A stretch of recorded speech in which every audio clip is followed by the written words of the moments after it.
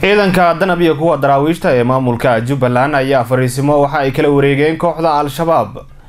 Wariyahayaga magaalada muqdisho inooga soo warama cabdicasiis riyali ayaa faahfaahinta warkan inoo soo diray. Ciidamada dowladda federaalk soomaaliya gaar ahaan kuwa danaba ayaa guulo ka sheegtay howlgallo ay tilmaameen inay qeyb ka ahaayeen ciidamada daraawiishta dowlad goboleedka jubbaland kuwaasi oo ay sheegeen si wada jir ah inay uga fuliyeen deegaano hoostaga jubbaland waxaana howlgalkaasi uu ka dhanhaa sida ay xaqiijiyeen dagaalamayaasha al-shabaab.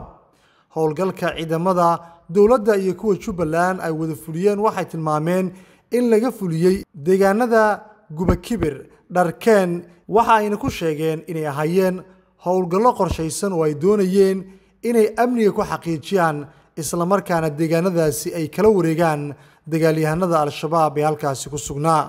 Weerarka ciidamada dowladda iyo kuwa jubbaland ayaa qaaday sida saraakiisha dowladda soomaaliya ay xaqiijinayaan waxayna tilmaameen ayagoo iskaashanaya deegaanadaasi inay la wareegeen.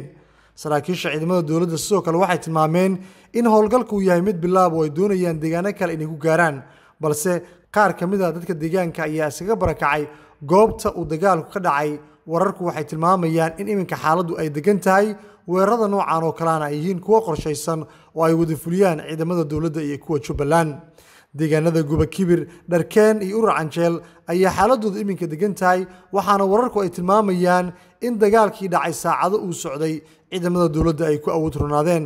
Dhanka al-shabaab wax wara oo ku aadan dagaalkaasi weli kama soo bixin. Marka laga soo gudbo guula sheegashada ciidamada dowladda oo garabka helayay oo kuwa maamulka jubbaland ee daraawiishta cabdilcasiis riil somaali cable magaalada muqdisho